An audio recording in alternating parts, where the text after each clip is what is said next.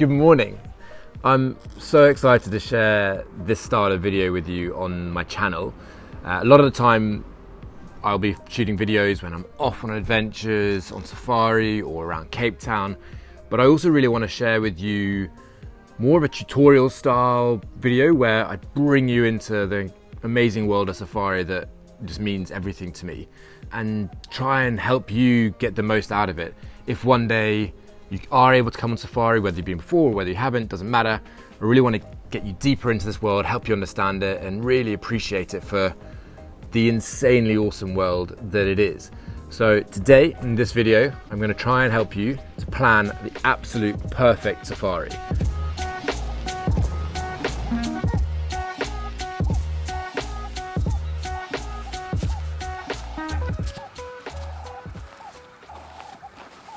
Okay, so how do we plan the perfect safari? I mean, first of all, you've done the most awesome thing by deciding to go on safari. Um, as I said before, whether it's your first safari or if it's your hundredth safari, I'm hopeful that you'll be able to learn something from this. So first things first, how do we kind of look at planning the first safari? Well, you can break it down pretty simply into the who, what, where, when and why. Um, and that's how I'll break down this video with a bit of a how at the end, so stick around for that who. So first things first, who? Pretty straightforward one. Who are you going to travel with? Is it you by yourself, um, or are you with a big group of friends or family? It really doesn't matter.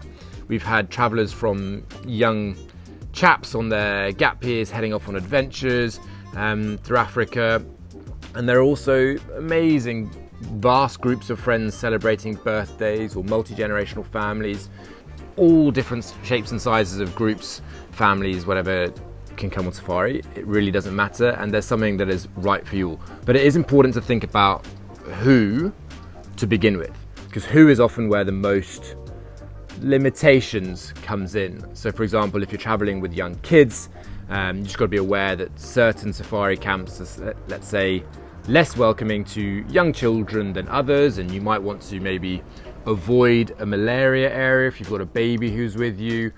But equally, you might be terrified of flying in small planes. I absolutely adore flying in those small planes because you get to see the bush from a completely different angle and perspective and it's it's so much fun and the excitement levels when you spot your first elephant from a plane yeah no it's, it's mega so think about the who first that is really the starting point and from there we can explore the rest so the second point is what. Now, with the rest of these sections, there are going to be many different ways to, to look at, at them. So to begin with what? So what type of experience are you keen to experience? Um, what I mean by that is, do you want to head out on a boating safari? Do you want to be on a game drive? Now, a game drive is the most typical form of safari experience where you, um, depending if you're doing a self drive or not, but let's talk about a, a, game drive in a camp or a lodge for the time being. You'll have a guide um, who will be with you throughout your stay in that area, and there'll be you on an open Land Rover or Toyota Land Cruiser, and you'll head out on safaris in the morning and the afternoons um, to find wildlife. That's that's the main way that one can experience safari, but there are other ways. So there's boating safari. So in Botswana or in Zambia, you can head out on flat bottom boats or on makoros, which are dugout canoes, which you find in the Okavango Delta of Botswana.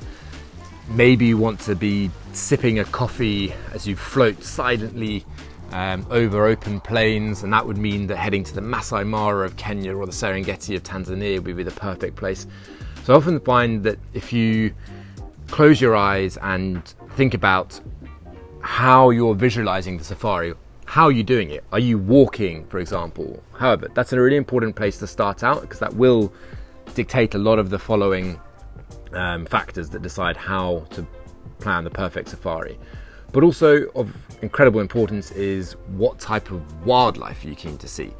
Now, if you're dead set on finding a rhino, there are going to be particular areas that are really important to go to. A lot of people finding a rhino is is a, is a big thing because if you've been on safari a number of times, you'll know that they're quite heavily poached. I mean, devastatingly heavily poached, um, and you don't often see them. So you can specify which area you want to go to in particular to find rhino. but you might be keen to find lions or particularly amazing set of giraffe or what, who knows. If there's a particular type of animal you want to see, then it's really important to bear that in mind. My top tip though for when you're on safari is to let the guide know what you are really passionate about trying to find and what you're really keen to see, but then kind of let it go. Um, I've too often had people that come and they're absolutely and understandably desperate to see a leopard, um, but in a way they let that cloud their enjoyment of the rest of the experience um, because they're focused too much on one one animal. And yeah you miss out on the incredible bird life the trees the scenery. So definitely let it known what you're keen to find. And obviously in the planning process it's important to work out where the best chance is going to be where the best area for the best chance is going to be of finding that. But once you're there relax and let the rest of the trip um, unfold in front of you and let nature take its course. Then we're still within the what's, the style of safari that you want to do. So what style of safari do you want to embark on? Um, do you want to be in rustic, kind of old fashioned, back to basics tents, which move every day, exploring and following the great migratory herds? or do you want to be in a kind of midway between that and a luxury style of accommodation or do you want to go full hog? Amazing luxury five star every step of the way dom perignon on tap. Everything is possible um, and depending on your comfort zones one might be better suited to you than the other. My advice would be um, to try and experience as many different styles as possible.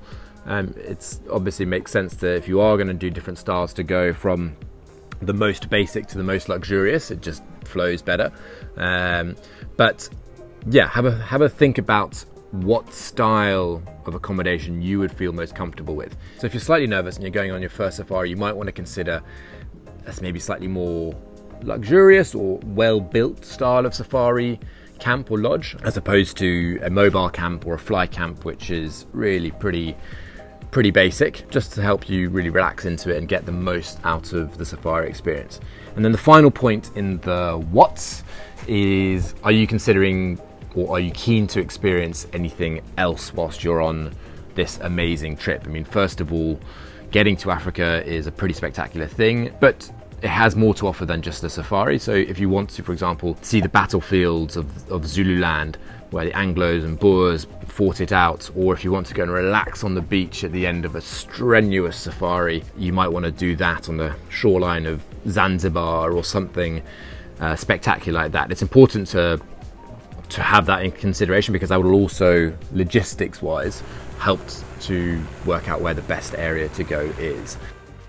So that brings us nicely on to where where to go on safari. Now you might already have somewhere in mind and that's amazing. Um, maybe you're dead set on going to South Africa because it's got everything in mind. You've been always keen to go there, or maybe you've always heard that Botswana is amazing.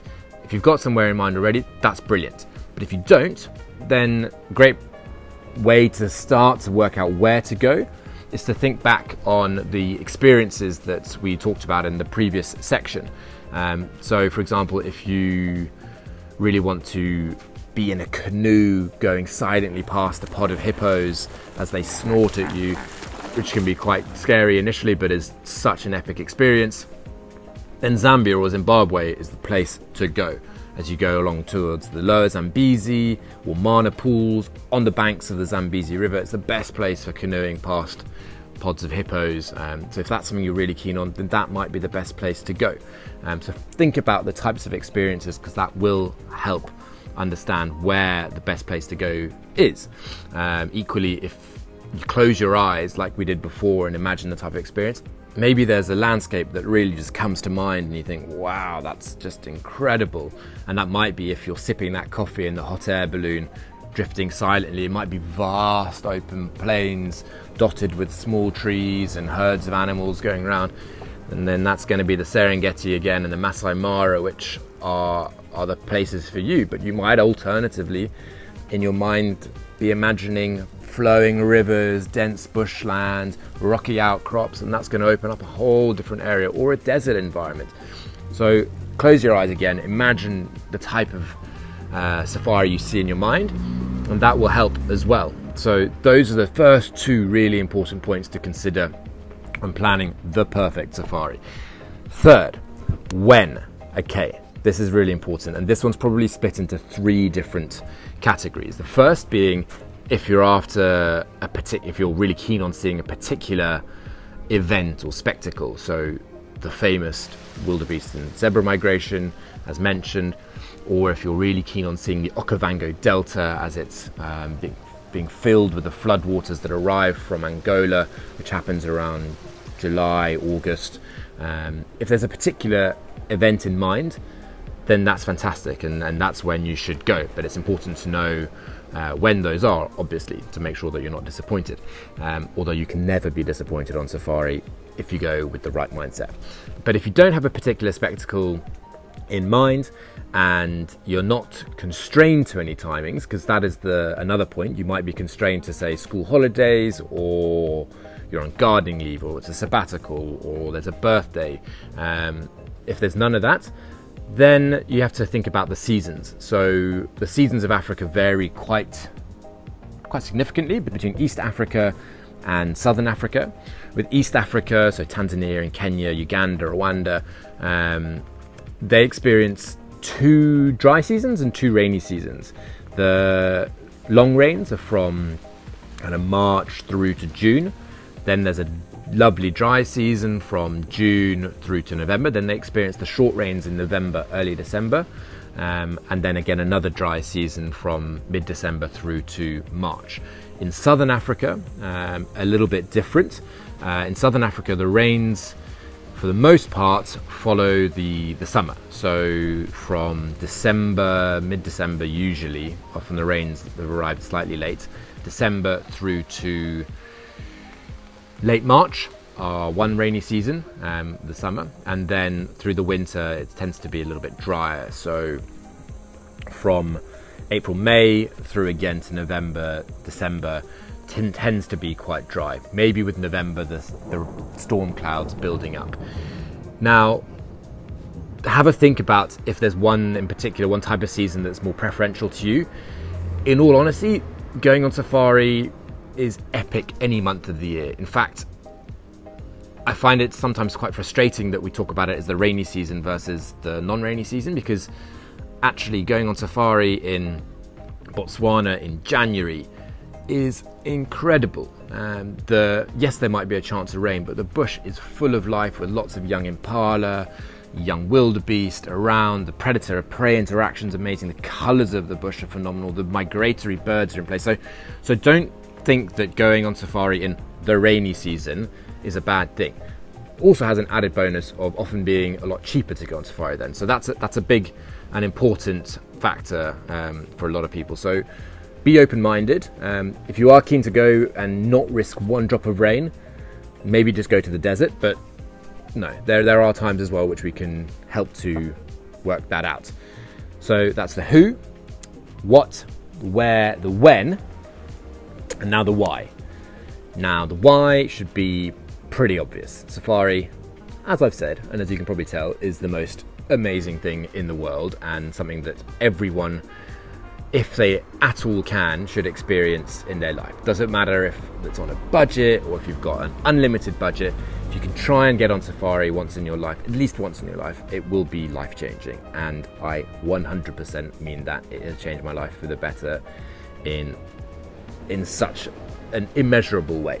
Um, so, congrats, you're going on a safari, well done. But it is also important to think about if it's a special occasion. Is it your honeymoon or is it um, a big birthday celebration, an anniversary, your sabbatical, something you've worked up to for a long time? Um, or are you maybe mourning the loss of some someone that you've loved dearly? Going to the bush is an amazingly special time to reconnect with yourself, with nature, uh, but also to celebrate. So, knowing what the occasion is for, that's really important. And, and that actually leads me on to the how. Uh, now, this video isn't officially sponsored by anyone, but technically, I suppose it's sponsored by my safari company, Bonamy Travel, um, because I, I, should probably be working um, for that right now, but but this is, is work too. So, how? How is the best way to make sure you plan that perfect safari? Now, I would probably say this regardless of whether I own a safari company or not, but you should definitely contact uh, an expert who can help you really navigate this world of making sure you take everything into consideration. There are lots of amazing safari companies out there. Bonamy Travel, which is linked below, naturally I think is the best. But it is important to get to chat to someone who is an expert who's been to all these places because they'll be able to answer any questions you have but they'll also be able to just show you something which you maybe weren't thinking about which actually is right for you so final tip is chat to a safari expert guys i really hope you've enjoyed this video that that you like the style of uh, a more tutorial style video um, if you've got any questions that you might want answering in a subsequent video, please let me know in the comments below. If you haven't already, please do like this video and subscribe to the channel. It, it really helps. Um, I mean, I know I've only got about 24 precisely subscribers right now at the time of filming, but that'll grow and hopefully that means that we can bring more content to you which will show you this awesome world. Guys, thank you so, so much. See you in the next video. Bye.